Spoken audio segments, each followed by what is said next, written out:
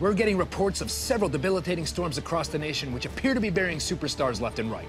That's right. Superstars that once showed promise of having their own WrestleMania moment have now been buried with little hope of recovery. Starting in Battle Creek, Michigan, where we're being told that Rob Van Dam, despite the fact that he's not even on the active roster, has once again been blown away by Tropical Storm Trips. You know, that's kind of surprising the storm even got him, considering he's usually high above the clouds. Everything's cool when you're RVD. Moving now to the eastern part of the country, Dolph Ziggler has been buried in a sudden rock slide in the mountains of Stamford, Connecticut.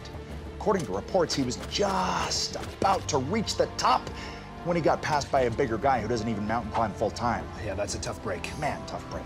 I'm your superhero. Satellites are indicating record-breaking amounts of heat surrounding the ravishing Russian Lana, keeping her out of the hot lights of actually being on television. Mark websites everywhere have no specifics but can 100% confirm the heat. If it's on the internet, it has to be true. The internet does not lie. Never.